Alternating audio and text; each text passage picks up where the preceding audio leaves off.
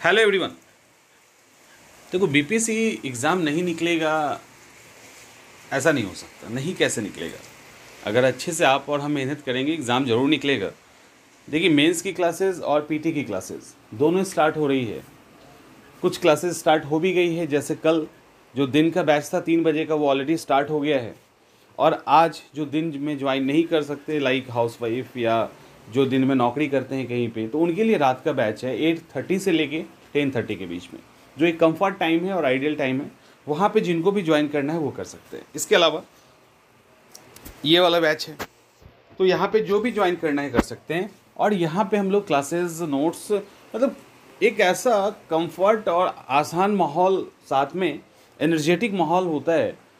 जहाँ पे live classes तो हम लोग लेते हैं, ये लाइव क्लासेस के दौरान आप सवाल भी पूछ सकते हैं।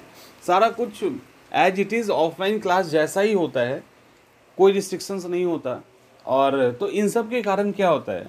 इन सबको फ़ायदा ये मिल जाता है कि एक आपको मतलब एक बेहतर माहौल मिलता है।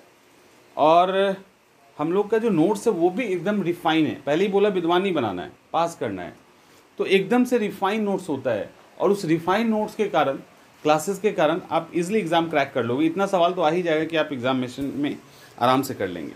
उसी के साथ मेंस की क्लासेस ऑलरेडी स्टार्ट हो गई, दो दिन हो गया है क्लास का। तो LSW और एल की क्लास आज से स्टार्ट हो रही है। तो LSW के बारे में जो भ्रम है, उस भ्रम को दूर कर लीजिए कि रिज़ल्ट नहीं आता है। रिज़ल्ट खूब आता है। तो रिज़ल्ट नहीं आता यानी बट LSW को पढ़ना कैसे है? एल पे अप्रोच कैसे डेवलप करना है? ये बहुत ही मायने रखता है। तो LSW की क्लास आज दिन से ही एक बजे से स्टार्ट हो रही है। तो जिनको भी बैच ज्वाइन करना है, वो कर सकते हैं। साथ में टेस्ट सीरीज़ भी हमारी प्रिलिम्स और मेंस की दोनों चल रही है।